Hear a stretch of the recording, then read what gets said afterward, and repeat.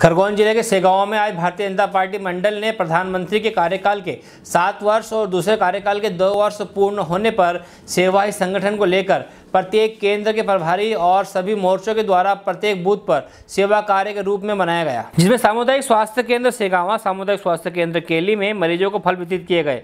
सभी मास्क का वितरण किए गए और जरूरतमंदों को भोजन के पैकेट के साथ ही कोविड वैक्सीन के लिए प्रेरित किया गया।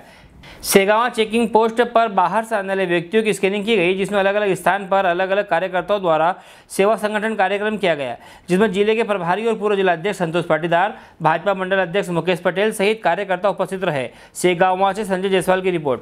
मंत्री के दूसरे कार्यकाल के दो वर्ष पूर्ण हुए इसको लेकर आपने क्या आयोजन किए? आज माननीय प्रधानमंत्री जी के दो वर्ष पूर्ण होने पर हमने अस्पताल में मरीजों का फल वितरण साथ ही मास्क का वितरण एवं साफ़ सफ़ाई अभियान चलाया। पूरे मंडल में सभी बूथों बूथ स्तर पर ग्राम केंद्रों के केंद्र प्रभारी बनाए गए थे जिनके द्वारा सभी बूथों पर यह आयोजन किया गया। क्या नाम लिखते हो?